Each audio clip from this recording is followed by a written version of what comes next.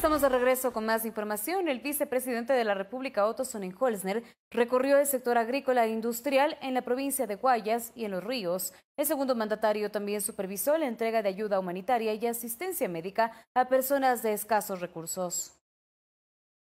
Junto al ministro de Agricultura Javier Lazo, el segundo mandatario mantuvo un encuentro con arroceros en el recinto Bella Luz en Juján, provincia del Guayas. Siendo esta provincia la principal productora de arroz, abarca el 75% de la producción nacional de la gramínea, superando el millón de toneladas. Hemos visitado a agricultores, a quienes no han parado de trabajar, a quienes nos han permitido mantener eh, la cuarentena con alimentación los representantes del gremio agrícola agradecieron la gestión y la entrega de créditos productivos. Histórico para nuestro sector, nuestro recinto, porque nunca hemos tenido una visita de, distinguidas autoridades de, nuestro país. Nosotros somos eh, los que producimos y, todo tipo de productos para, para, las ciudades. El señor vicepresidente pues lo ha hecho el día de hoy y este día va a ser tomado en cuenta por muchos años acá en el sector porque el señor ministro de Agricultura también nos ha visitado,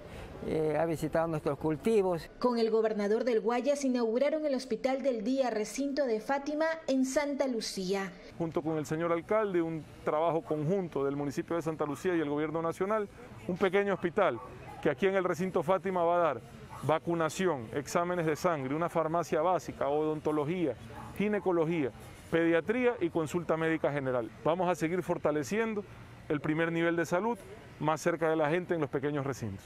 A su paso por la provincia de Los Ríos, junto al gobernador, recorrió la fábrica Impaexa del Grupo Familia en Babahoyo, dedicada a la producción de material sanitario y que no paró su producción durante la pandemia. Productores de, de papel en una fábrica, hemos visitado las industrias que también han sido básicas, han sido indispensables durante la cuarentena y que nos han demostrado cómo se puede trabajar o cómo han trabajado en estos más de dos meses cuidando y priorizando la salud del personal. En ambos casos, tanto en la apiladora como en la fábrica de papel, cero fallecidos por COVID. Con el apoyo de las brigadas médicas también se entregó kits de víveres y se brindó atención médica a las familias de escasos recursos en el sector Solbrisa y en el sector La Poza, acompañado del alcalde de Pueblo Viejo, quien le entregó las llaves de la ciudad.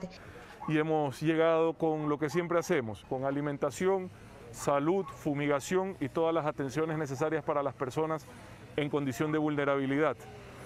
Estuvieron en el centro de aislamiento provisional que cuenta con 20 camas y que hoy solo tiene un paciente. Para impulsar la economía, los agricultores recibieron un préstamo de Ban Ecuador de 15 mil dólares cada uno. Para poder mejorar las tierras mejorar semillas y así incentivar mucho más la producción de arroz. Mariuxi Buenaño, Ecuador TV.